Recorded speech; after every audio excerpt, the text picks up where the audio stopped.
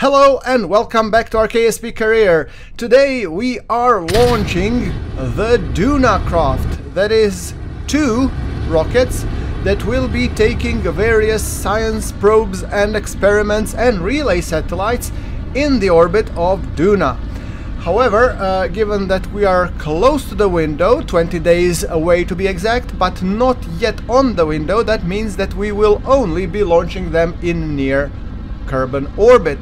So low Kerbin orbit. And uh, with that thing being said they will be ejected to Duna at some later point. However uh, we have two craft this is the first one. And this one is actually a little bit reminiscent of the Falcon 9 this should I think at least be the one that has uh, the Duna relay satellites I just hope I'm correct. Uh, when we open the fairing, time will tell. I mean, it's been a while since I lost, uh, lost introduced them, since I lost, you know, built them and everything.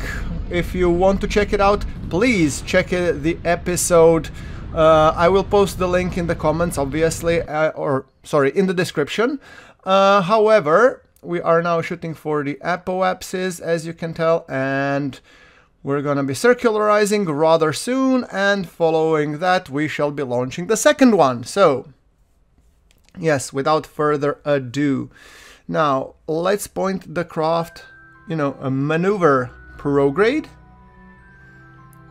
There we go, and yes, these are the Duna relay satellites, lots of them as you can tell. So the only change that I actually did compared to the original one before I uninstalled the RemoteTech, which I uninstalled just for the reference, uh, I have actually uh, changed the long range antenna on the craft to be one in the middle. So that's it.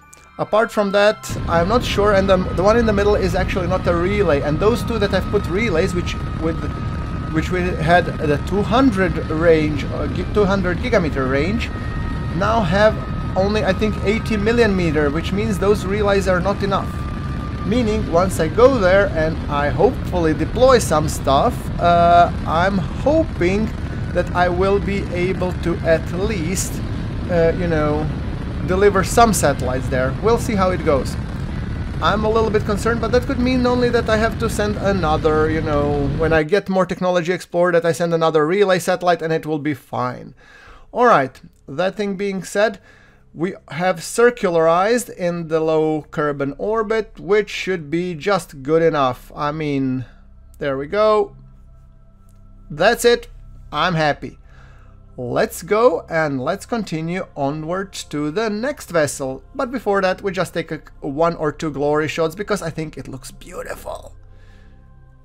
And I really like the uh, also this um, SpaceX SpaceX rideshare adapter. It, it looks kind of cool, doesn't it? Yeah, look at it. Glory shot for the win. Alright, Next launch, and this is the Sciencer, the one that has science satellites. Look at it go, shooting up like a rocket. Pun intended. Yes, uh, it has pretty high thrust-to-weight ratio because it has this uh, Twin-Boar engines, which are actually quite powerful. And uh, in the middle we have obviously the standard SpaceX uh, engine that we are used, well, that's used on Falcon 9, but in game I don't know what's it called. So there we go, the plume as we go up goes more beautifully than ever and we shall be dropping the first set of boosters right about now.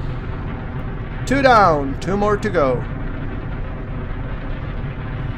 Alright, so with that thing being said, this thing has a monstrous 8000 meters per second, so it has more than enough for a powered push to Duna and then powered circularization. I didn't want to go with the aero brakes yet because I don't have the sufficient technology to do so.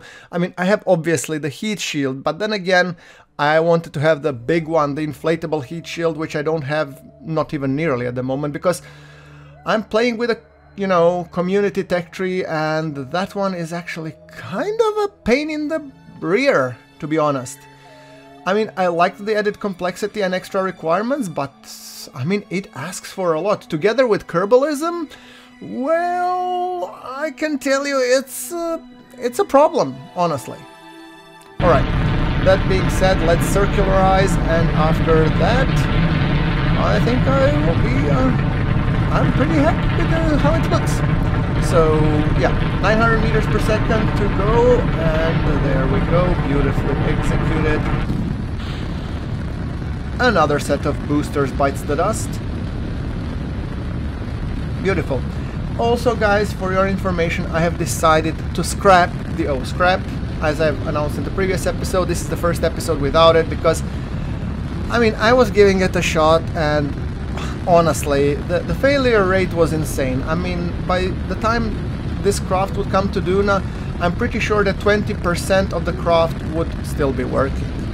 And I'm not joking. So, you know, failures are fun when they occur sometimes and random, and I really like the added explosions that it generated when testing or when even when trying to fly. However, I mean, you don't go with 50% failure rate, I'm on seriously. Even if you then do a static fire, you have reduced the probability from 50 to what, 30? I mean, sorry, not a big fan. However, uh, test flight was something that I thought was interesting, so maybe I'll introduce test flight in the future. Do let me know in the comments what you think. Should I include the test flight or not to this save? I'm really curious uh, to, to hear your answer, so please voice them. They make a big difference.